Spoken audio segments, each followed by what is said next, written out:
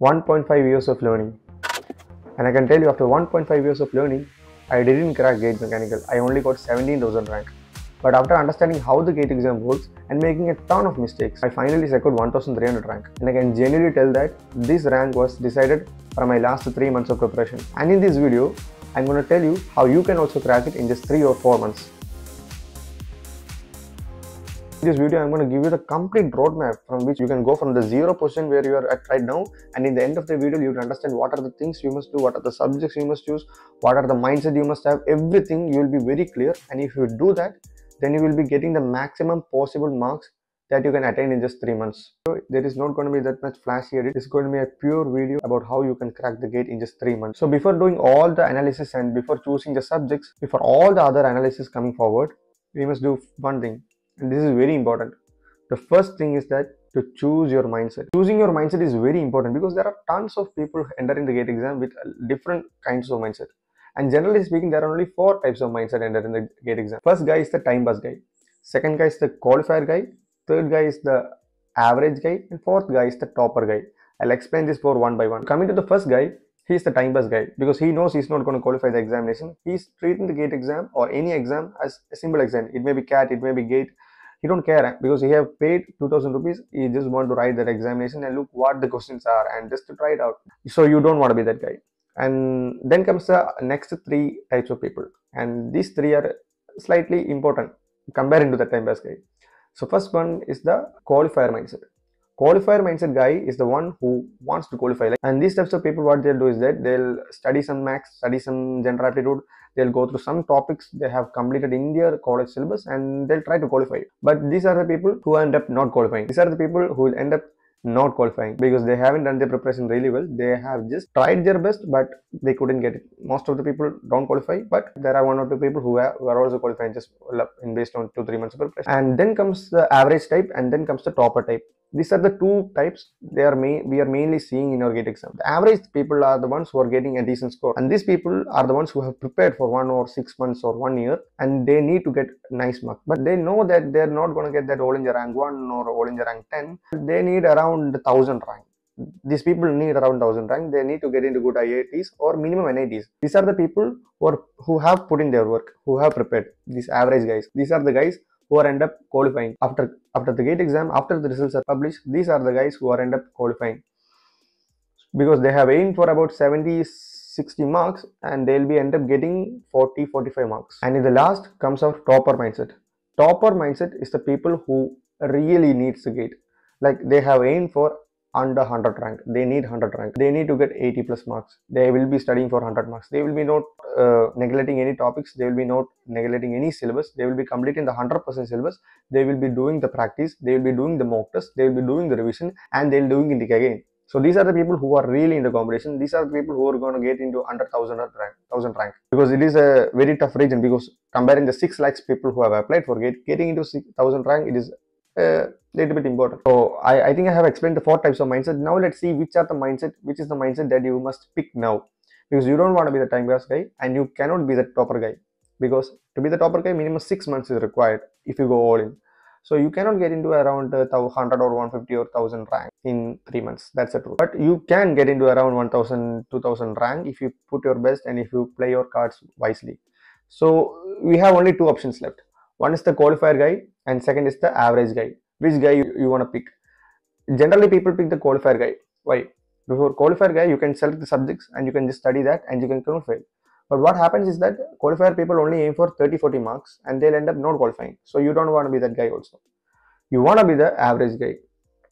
Now is the time to pick that and you and you mentally tell yourself that you are the average guy. You need 60 or 70 marks. You're aiming for that much marks right?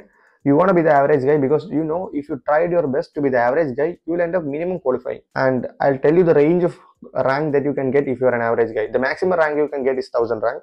The minimum rank you can get is 10000 rank. And in between this 1000 and 10000 you will be getting into iits or nits for sure.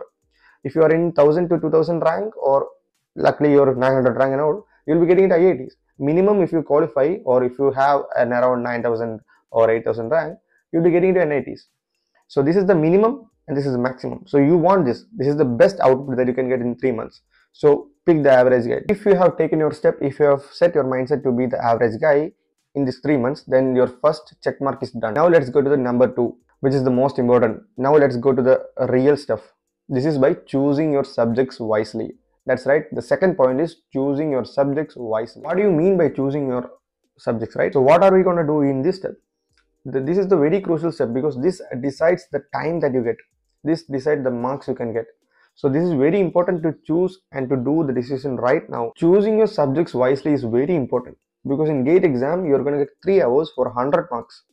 And if you remove your 40 or 30 marks which you don't want to study i don't want these subjects i'm not going to study these subjects then you get 3 hours for 70 or 50 marks or 3 hours for 60 marks this is the very difference because by getting one question two two minutes or three minutes you will be getting four or five minutes for one question. This is going to be a very big advantage if you focus on if you just focus on some certain subjects and you are very good at that then you're then you're eventually going to get 50 or 60 marks.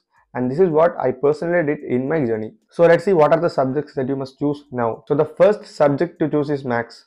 You must not leave maths right? You must not leave maths because we have all studied we are all studying in colleges we have mathematics in our S1, S2, S3, S4 and we know how to do integration, we know how to do basic differentiation and all these things we have been studying from our 10th or plus 1 or plus 2. So studying engineering mathematics in engineering level is that much, it's not that much tough and you can get 13 marks in just like if you dedicate yourself for 25 or 30 hours of concept learning, you'll get these 13 marks. If you don't like some subjects like probability, I didn't also study probability, I didn't like it so if you don't like some subject, you can leave it. It's no problem. Two marks, okay, leave it. And disclaimer in this video, this is a roadmap that I give you based on my research and my uh, preferences, but you can change it and you, you can do it your own way. But just listen to me fully, then you will understand why, why I said this. You can give your time to other subjects, but you must study most of 90% of max because it is very easy. So choosing max is very important and you must complete the whole syllabus in maths. So that is 13 marks. Next subject is general aptitude. You must never leave general aptitude and I'll recommend that you must not study general aptitude. You must only practice general aptitude. You must not go and study how to study grammar, how how to like match the columns or how to think. You must not study that. You must directly do the general aptitude previous questions. You must directly do the problems and then you must look at the solutions and how they did it because most of the general aptitude questions like spatial aptitude, verbal aptitude, these are all repeated all the things are repeated. Once you get how to do it and once you know how to manage the time in general aptitude you automatically get the questions. So you you don't need to study any lectures for general aptitude. You just need some sheets of questions from any any paper like gate not only gate from cat or gate or any paper you just get some general aptitude questions. You practice it you'll get general aptitude. That's it. So now let's see which are the core subjects that you must choose. And from my personal journey or what I did is that I knew what a little bit of thermodynamics, I lit, I knew a little bit of fluid mechanics. So what I did is that I chose fluid and thermal mainly. Fluid mechanics I study uh, till uh, Bernoulli something like that. I didn't go extend for uh, applied fluid mechanics. I didn't study turbines and all. I only study the basic fluid mechanics. And also in thermodynamics, I studied what is the basic thermodynamics, the first law, the second law, and mostly the easy stuff. And then I studied the applied thermodynamics. These are the two subjects that I picked based on fluid thermal stream. Then coming to the other subjects, I picked strength of materials because I knew what is what was stress, what is strain, what is stress, force by area. Like that, easy stuffs I know basic level. So that I picked that subject also. And then I picked vibrations because I know what how things vibrate and all. So and also the basic equations were very easy for vibration. We were studying it from 10th standard. So vibrations also I picked. So like that I select the subjects which I liked then I compared it with the weightage. When we looking at the weightage, manufacturing has the highest weightage. So how can we leave manufacturing? But I don't want to study manufacturing because it will take more than three, four months, uh, mainly three months. So I don't want to do that. So what I did is that in manufacturing, what are the topics which compulsorily questions came? Like in manufacturing, it is about 16, 18 marks of weightage. But for some topics like metrology, casting, like a rolling process, in these topics, every time question comes for two marks and the question repetitive pattern is similar. Like same question same value same equations. So i just studied that and i got the mark. This is what i did for weightage topics. So like that you must analyze how you must how you can study these topics. So if you want to know all the weightage analysis i will link the video. You can check it out. In this video i have explained what are the weightages for each subjects and also in subtopics like for in manufacturing there are many eight or nine subtopics and for each subtopic what is the mark which you get and what is the hours that you must spend. So check this video out. If you haven't checked it is a very useful video. Now let's get back into this video. So like that you must choose your subjects very wisely. So after this i'm going to share you a slide which will be showing you what are the main subjects that you must choose. So in this slide you can see that based on your average mindset and based on the subjects that you choose wisely you will be getting around 50 to 70 marks of coverage. Like if you are very bad at your subjects and if you have studied that much you will be getting minimum of 40 marks.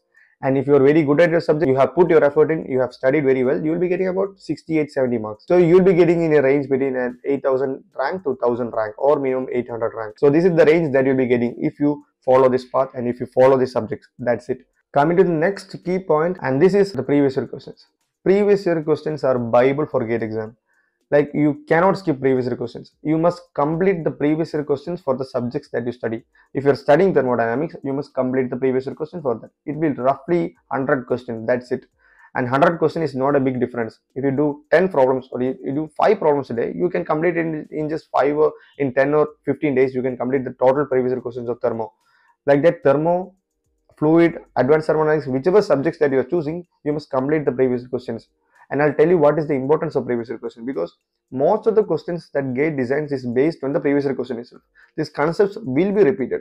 These questions will be repeated and even these values will be repeated. But the main thing or the main difference between the people who do the previous questions and who do not do is that by doing the previous questions, your concept will be so clear. These questions are designed to test your concept. These questions are designed to make you do the mistakes they'll be giving you values or they'll be manipulating the units. They'll be doing something in the question that will change your answer. They will divert your answer. And that same answer that, will, that you will be ending up will be in the options also. So if you know how they make your questions or if the if you know what is the examiner's mindset then it will be very easy to correct the questions. So that is the main importance of doing the previous questions. It is not only by it is not the aim to do number of questions not like that. But if you do the previous questions and if you do them again and again i'll always recommend to do the previous questions again rather than to do any other test series. Because by doing the previous questions and by doing it again you will be again forced to do the same mindset. Your mindset and your thinking will be involved in how the gate examiner wants it. So you want to tackle the examiner right? You want to tackle the one who make the questions so if you want to do like that, you must always study the previous. And last comes our test and revision. I'll tell you this is the most important when it comes to scoring marks. This is the last step that you must do is to test. You must do test. You must buy a test for 500 rupees from any platform. I'll recommend a platform Physics Wallah. They're giving test for 500 rupees. It will be in the end of December, I think. So buy that test. Do the test. Like doing the test will increase your probability of getting your marks very much high because if you're going to get 30 marks by doing the test you'll be going to get 50 marks because what happened in the gate exam is that you have studied for 50 marks you know 50 marks you know every concept but due to the inadequate practice you will be not getting 50 marks. You will be ending up with 30 or 35 marks. For example you have studied very good concepts for about 60 marks and you have done all the previous questions and all every homework is done for 60 marks but you will be ending up with 40 or 35 marks. And this difference is due to the test series because the gate exam you are gonna encounter many problems. Like even though you know the answer you you will not you will not be taking the correct option. You will be making silly mistakes addition multiplication mistakes. You will not be reading the question correctly. And also there will be varieties of questions that you haven't even seen of from the same concepts. So if you want to tackle all these things and if you want to bring the maximum score out of what you have studied or for an for example you have studied for 10 marks. If you need 10 marks then you must practice for the 10 marks again and again and this comes from the test series. So test series is very important. And talking about revision revision is very important in gate exams or any competitive exam. Because when you're watching a video or when you're learning a concept from a youtube video or from a course you will be very clear when you are listening to that uh, teacher or a staff who is uh, teaching them. But after uh, one month or two months you will be forgetting all the things. So you need to revise it weekly or monthly. You must maintain a revision plan. That is very important. But in the last three four months i'll always prepare I'll always prefer to do the test series because because you will be only having two three gaps from the test series and the uh, concept you have learned.